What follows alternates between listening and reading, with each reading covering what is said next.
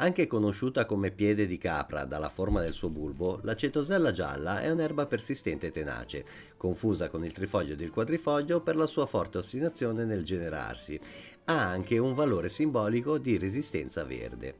È originaria del Sudafrica ed anche in Italia si trova benissimo. La cetosella è una pianta che resiste alle arature e svolge una funzione di difesa del suolo dai dilavamenti.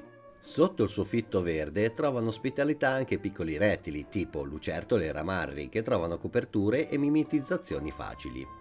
I suoi fiori gialli durano dall'autunno alla primavera a seconda della latitudine ed è apprezzata dagli animali, in particolare dalle galline che ne fanno man bassa mangiando tutto dalle foglie ai bulbi.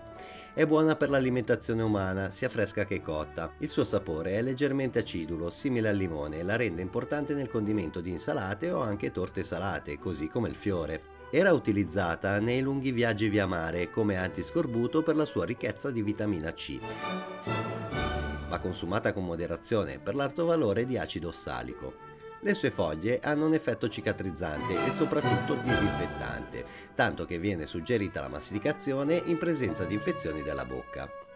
Si trova lungo i muri e nei campi non coltivati.